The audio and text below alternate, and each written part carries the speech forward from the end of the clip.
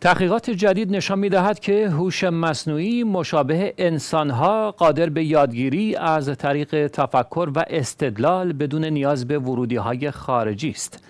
این روش یادگیری که شامل شبیه سازی، توضیح و استدلال است به هوش مصنوعی این امکان را می دهد که مانند انسانها به اصلاح و توسعه پاسخهای خود بپردازد. این کشف شباهت ها و تفاوت های اساسی بین هوش طبیعی و مصنوعی را برجسته کرده و پنجره جدید برای درک عمیقتر فرایندهای شناختی انسان و هوش مصنوعی باز می کند.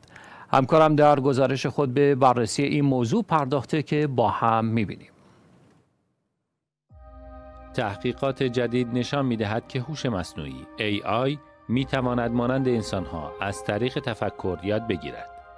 این مطالعه که در تاریخ 18 سپتامبر 2024 در برخی از مجلات معتبر منتشر شده به بررسی روش های یادگیری هوش مصنوعی پرداخته و مشابهت ها و تفاوت های آن را با فرایندهای شناختی انسان متمایز می کند. بر اساس این تحقیق، هوش مصنوعی قادر است بدون ورودی خارجی از طریق توضیح، شبیه سازی، تشبیه و استدلال به نتایج جدیدی برسد. تانیلا لامبروزو نویسنده این مقاله و استاد روانشناسی در دانشگاه پرینستون به این نکته اشاره می کند که هوش مصنوعی می تواند خود را اصلاح کند و به نتایج دقیق تری برسد که این فرایند یادگیری به طور قابل توجهی مشابه یادگیری انسان هاست. این پژوهش چهار روش یادگیری از طریق تفکر را در انسانها و هوش مصنوعی شناسایی کرده است.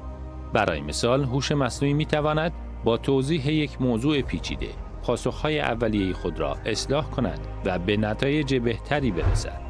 این ویژگی به هوش مصنوعی این امکان را می دهد تا به صورت موثر و در زمان مورد نیاز دانش جدیدی کسب کند.